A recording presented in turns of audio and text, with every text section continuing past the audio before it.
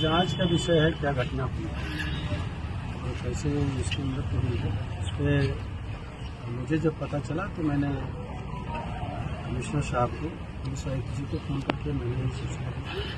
तो ऐसी ऐसी बात पता चली तो उन्होंने कहा अभी किसी पूछताछ को और उनको भेजते हैं फोरेंसिक को तो वो आकर के टीम भी आई है।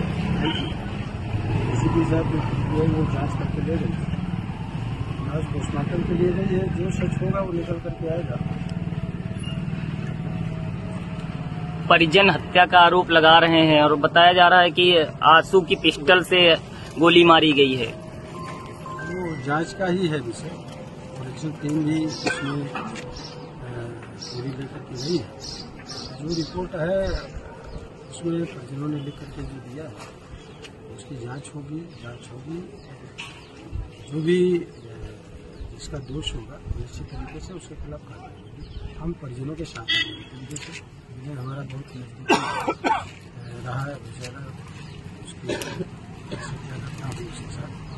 तो पुलिस पूरी जाँच करने के बाद खुलासा करेगी। जिस समय विनय की हत्या हुई इस घर में अन्य कई लोग बताए जा रहे हैं मौजूद थे। कौन कौन थे ये मुझे तो नहीं पता क्योंकि आँसू नहीं था आँसू दिल्ली चला गया था। यहाँ जी बीमार थी हॉस्पिटल में तो पास रही थी हॉस्पिटल से। तो दिल्ली चला गया था। दिल्ली है और वो वो फ़्लाइट पकड़ करके जो है दिल्ली गई उसको पकड़ के ले गया मृतक के परिजनों ने कई नामजद लोगों को तहरीर में किया है। उन लोगों को क्या है? वो जाँच कर है। जाँच होगी उसमें जो सच होगा वो निकल करके आएगा।